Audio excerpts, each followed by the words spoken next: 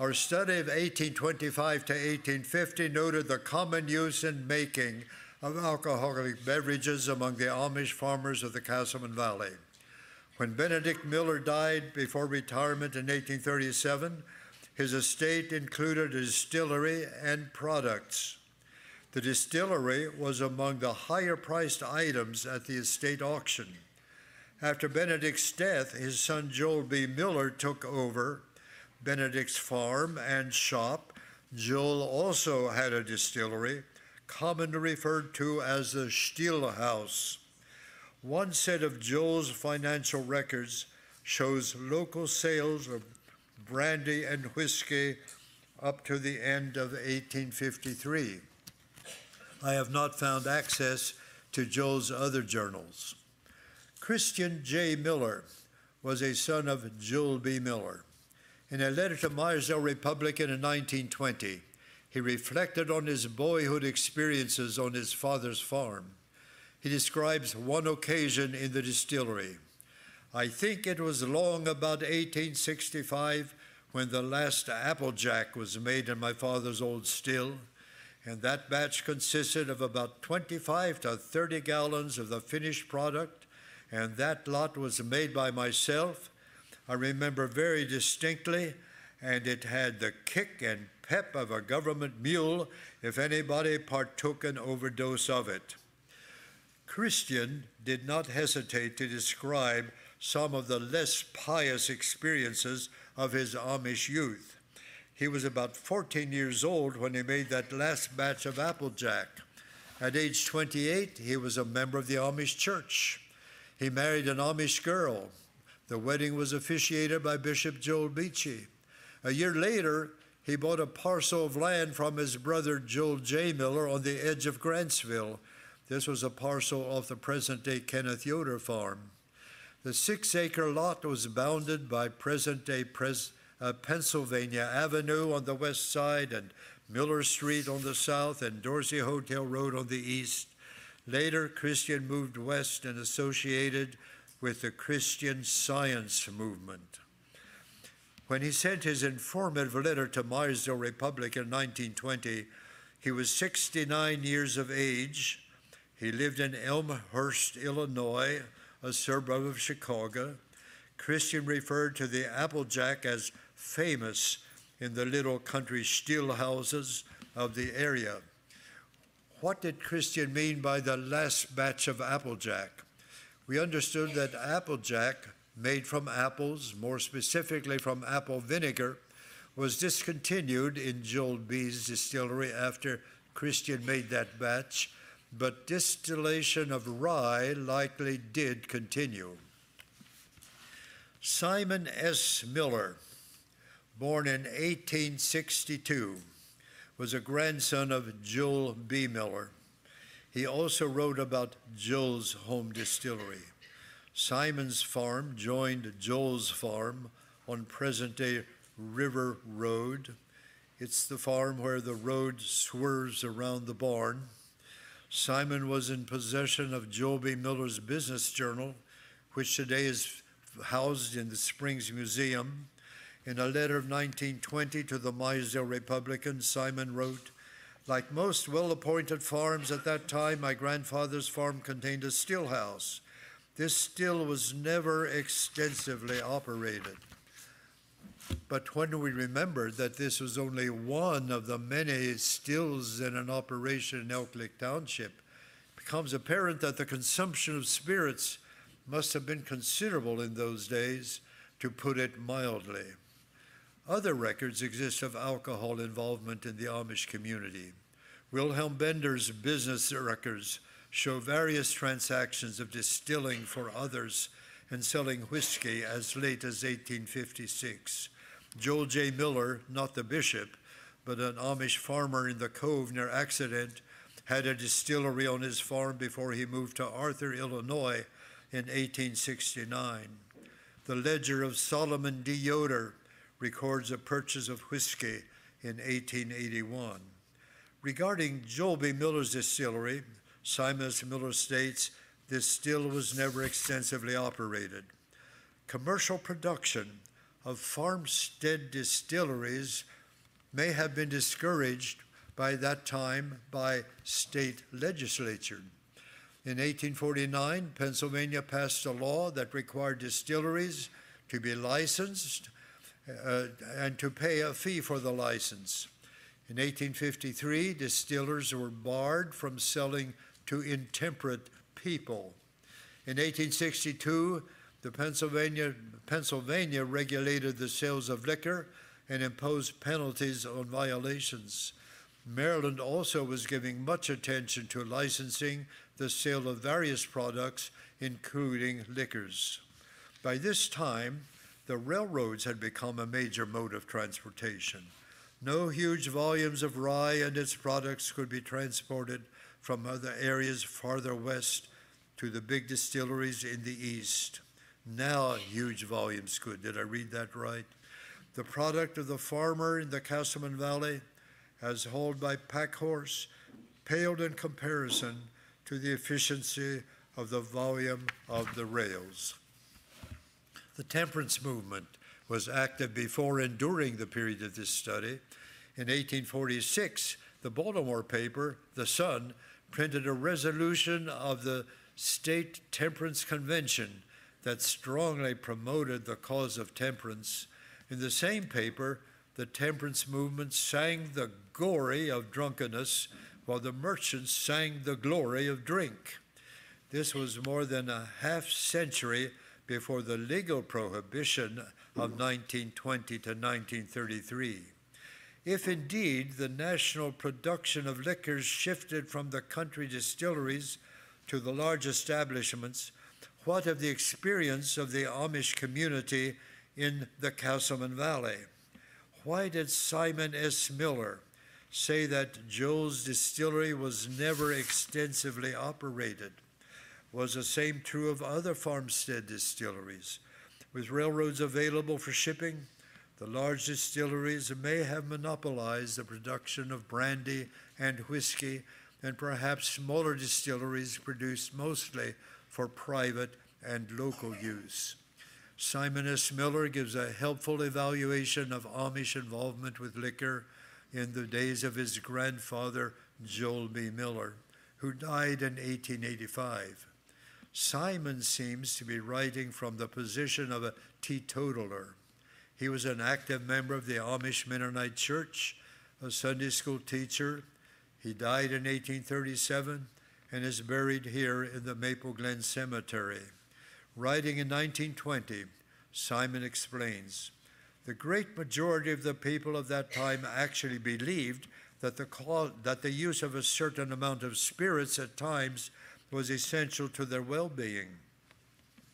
They probably saw no more wrong in its use than people of the present day, talking of 1920, see in the use of tea or coffee, while its abuse was severely frowned upon by the people of that day as it is now. Simon compared those times with later times. Indeed, if we are to accept the unanimous testimony of the few people still living, that's in 1920, whose memories hark back to the latter days of that period, drunkenness was not nearly as common then as it came to be later.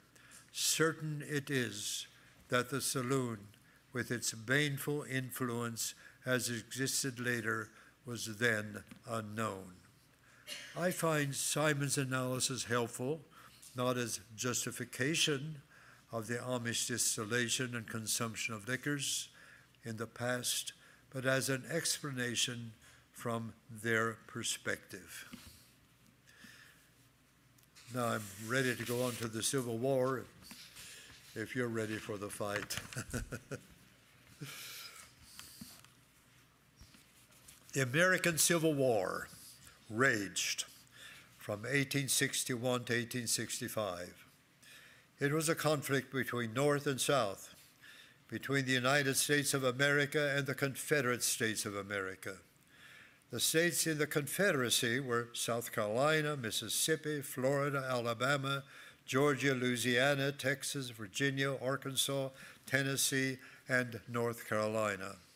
The secession of these states from the Union was a major issue, along with the question of expansion of slavery as new states were added to the Union, and eventually the issue of slavery where it already existed. Pennsylvania, a northern state, north of the Mason Dixon line, prohibited slavery. Maryland, a southern state, south of the Mason Dixon line, permitted slavery. But Maryland did not secede from the United States and did not join the Confederacy. The population of Western Maryland was predominantly sympathetic with the North. The Civil War was a vast war with more than a million casualties. To quote one authority, its cost American lives, its cost of American lives was as great as in all of the nation's other wars combined through Vietnam. More than 100 battles were fought during the war, but none in Somerset County or present day Garrett County. One major battle occurred about 80 aerial miles east of Grantsville on the Antietam battlefield at Sharpsburg, Maryland, north or near Hagerstown. In Pennsylvania, only one battle was fought. That is at Gettysburg, about 100 miles east of Meyersdale. but there were burnings of some cities in Pennsylvania. Closer to the Casselman Valley was a threat to the city of Cumberland. The Confederate forces had burned Chambersburg and were headed for Cumberland. There they, they were met by Union forces about three miles east of Cumberland. This skirmish saved Cumberland from attack, but being within 28 miles of the Casselman River, the news of the event must have reached the Casselman Valley, including the Amish community. News traveled primarily through the newspapers in those days. Two papers, the Alleghanian and the Civilian and Telegraph, based in Cumberland, avidly reported Civil War developments. These weekly papers served the Grantsville and accident areas. They included advertisements of auctions, lost animals, count of men subject to draft, men of the area going into military service, and celebration of Union Army victories. Of one celebration in Grantsville, the paper comments the people of Grantsville have shown more patriotism than the people of this city, Cumberland. Another source of awareness of the war among the Amish of the Casselman Valley was the experience of relatives near Gortner in southern Garrett County and Aurora, West Virginia. The route later known as US 50 must have been a practical road for military travel. Soldiers, when passing through, demanded and took food, clothing, and horses from the residents.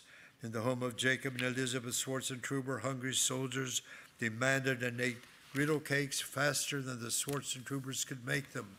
They ate the dough from the dough tray, consumed the milk from the swill barrel with its nutrition for the hogs, and drank the spring dry.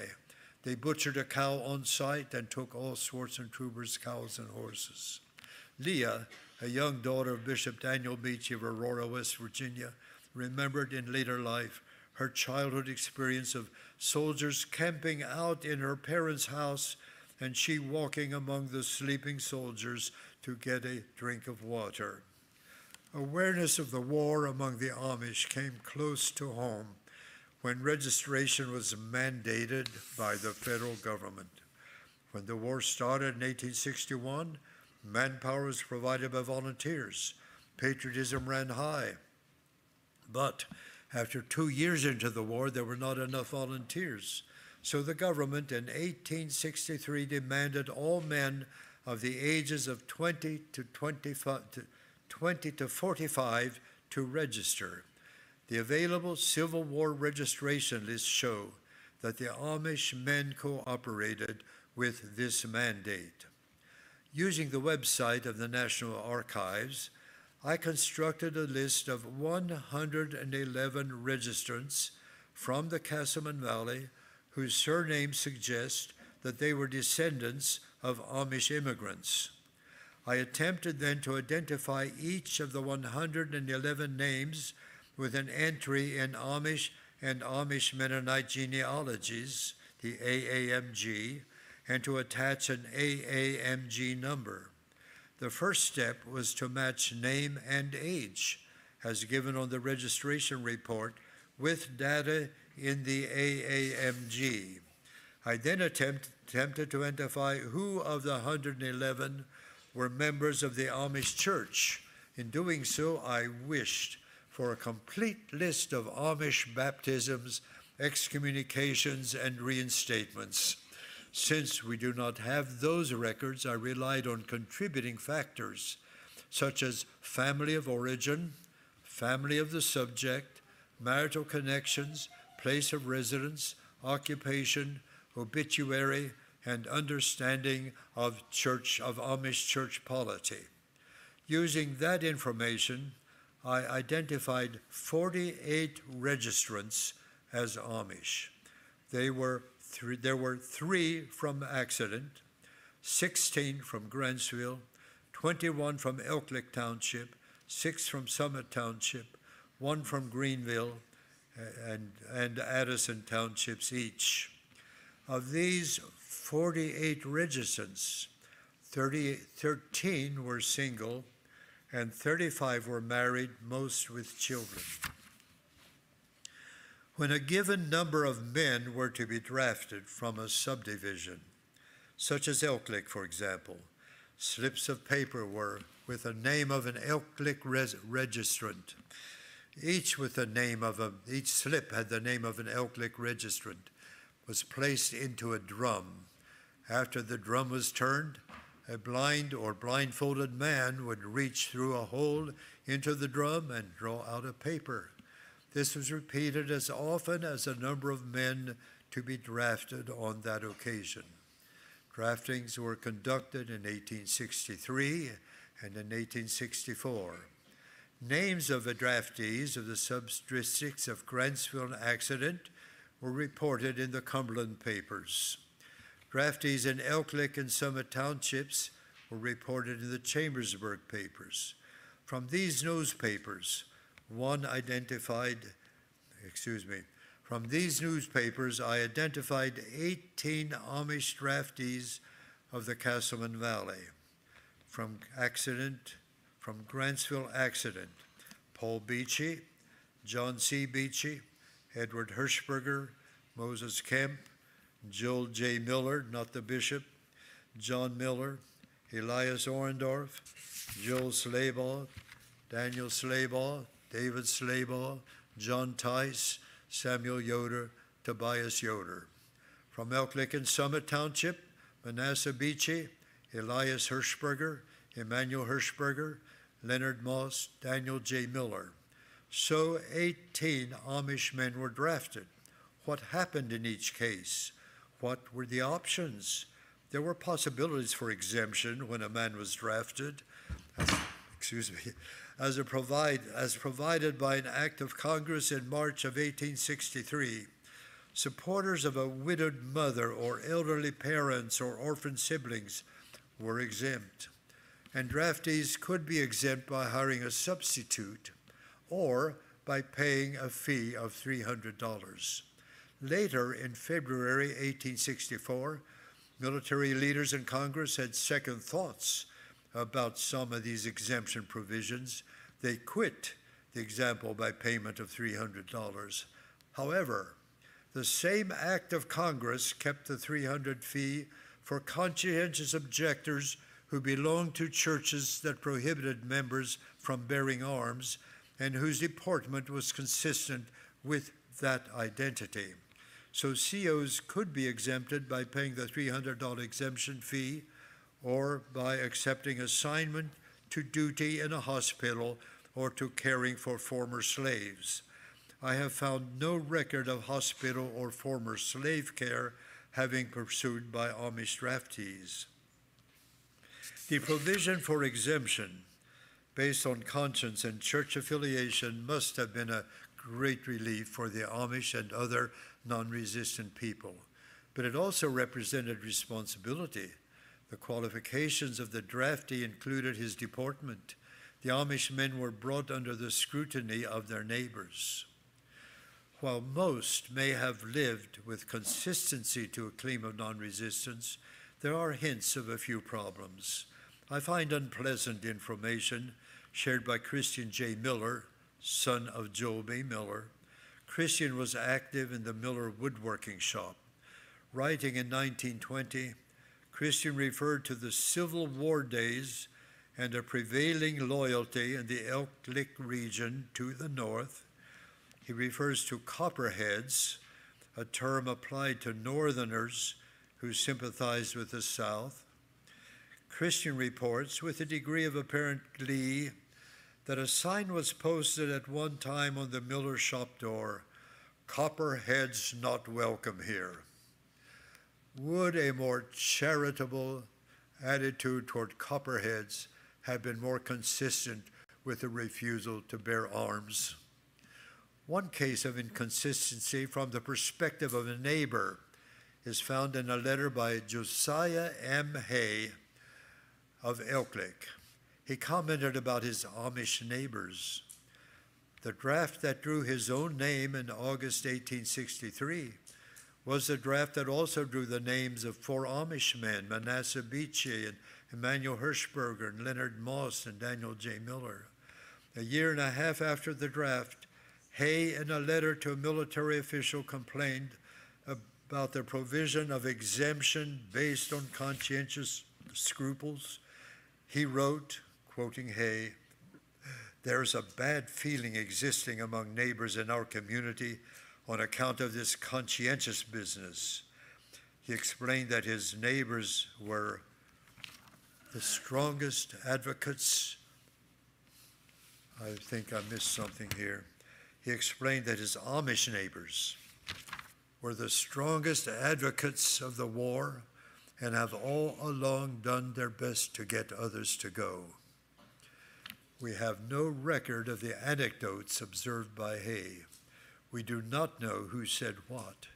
But given Hay's expression about 18 months after he was drafted and a year after he was inducted into the Army, there may have been a weak or negative spot in the Amish testimony of non resistance.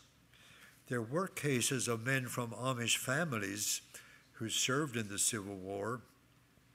Four brothers of the Yutzi family, Enoch, Samuel, Jeremiah, and Joseph, did not wait to be drafted. Instead, their patriotic fervor egged them on to enlisting.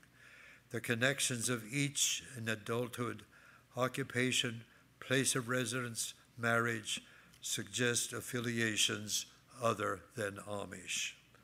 None of the four was Amish at death, according to the obituaries. Their father, Daniel Yutzi, was an immigrant from Germany whose reasons for migrating, according to tradition, included escape from military conscription.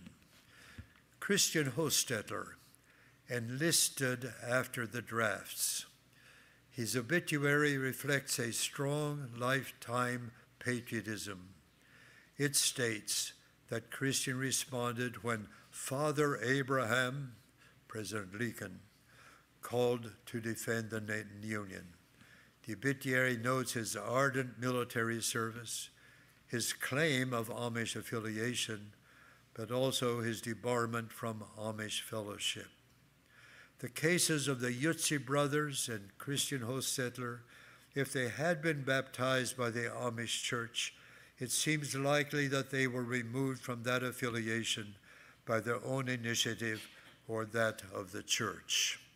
Now, I want to insert here that my conclusion concerning Christian Hostetler, he was referred to last evening, and Benny C. mentioned that he was Benny C.'s ancestor.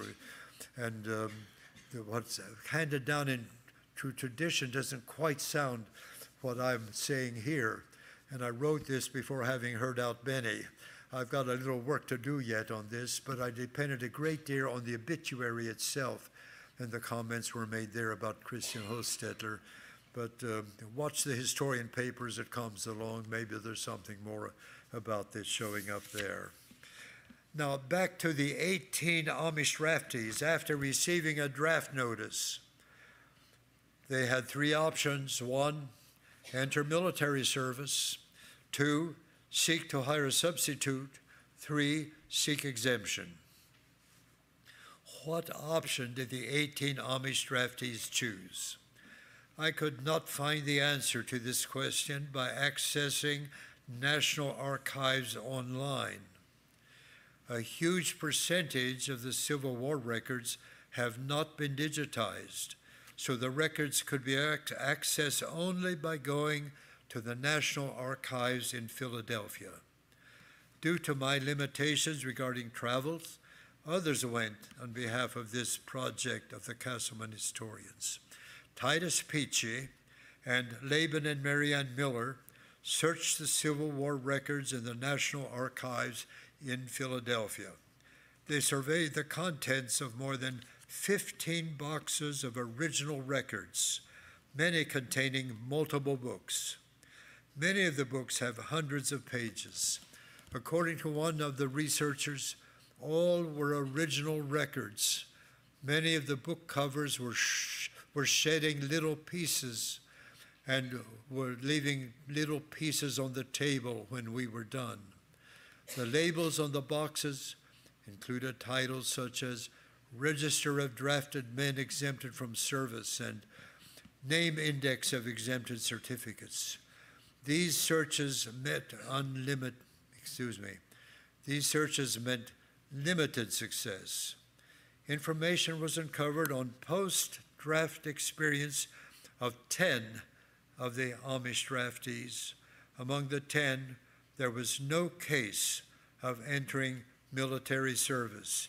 Each of the 10 was exempted because of circumstances, a motherless sibling at home, a medical reason, or by paying the $300 fee. I regret, I regret that I have no documented information on the other eight draftees.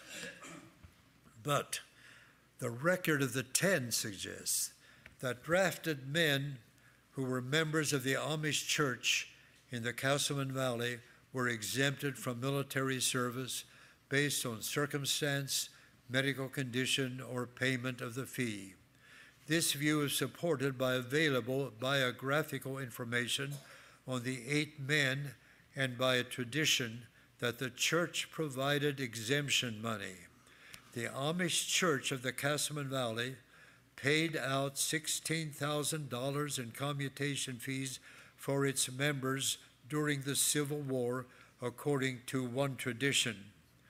The number seems too high for payment within the Amish church alone. 16,000 divided by 300 would equal 53 payments, but it is conceivable that 53 payments were made not only for Amish draftees, but also for Dunkards and Mennonites and other cases of conscientious scruples. Such extensive church involvement testifies to a prevailing element of conscientious objection within the church. We have dealt with the Amish church and the Civil War largely in terms of statistics.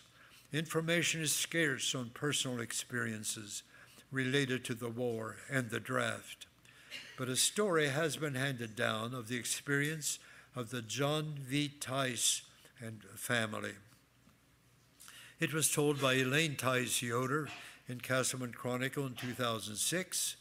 Earlier, it was given by Esther Schwarzentruber in the John V. Tice genealogy of 1968, quoting from an earlier Tice genealogy of 1945. John V. Tice was an immigrant.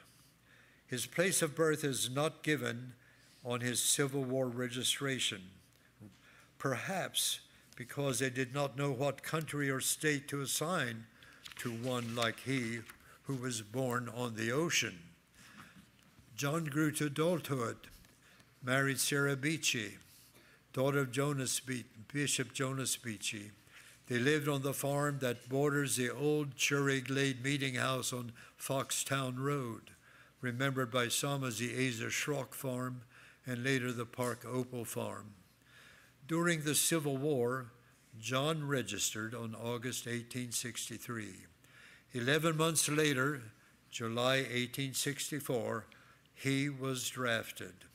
John would have been taken to Camp Bradford near Baltimore, near Baltimore, along with other draftees.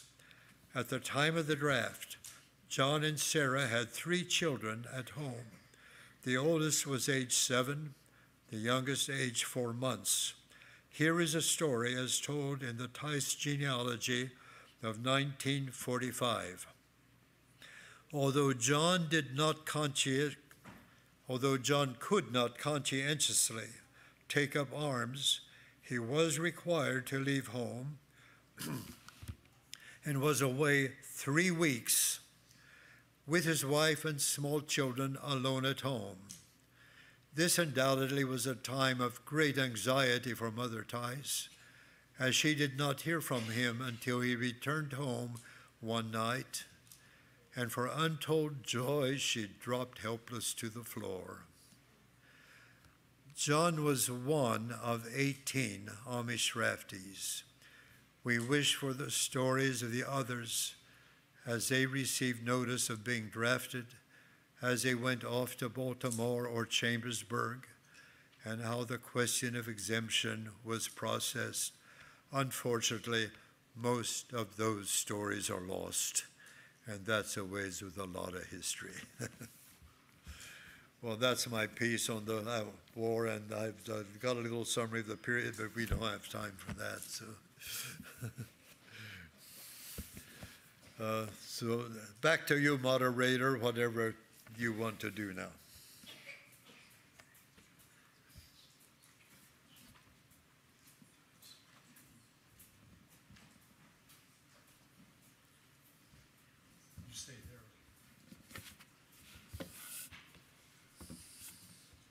Uh, There is a question right here.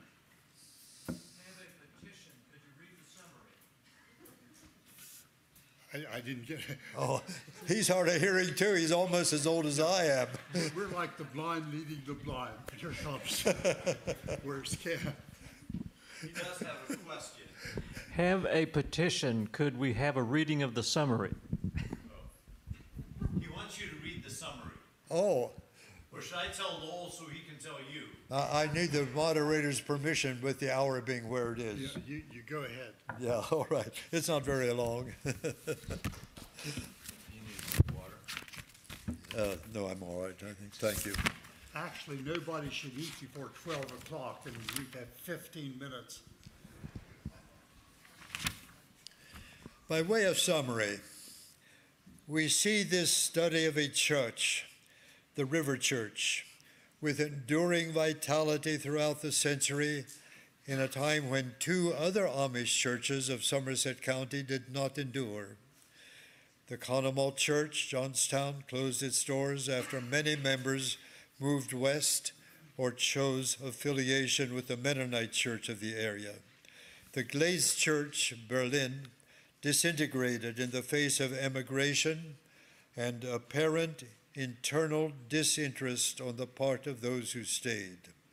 But the River Church maintained a membership of critical mass, even in the face of many moving west and some family members choosing other churches. The River Church had ministerial, ministerial leadership in place. The River Church adhered to Anabaptist doctrine and conserved basic traditional Amish polity and practice. Some openness to change is found in the adoption of new songbooks and not much later, the building of meeting houses. When the year 1875 rolled by, the Amish church had been in the Casselman Valley for a century and was posed to move through to move through the final quarter of the 19th century.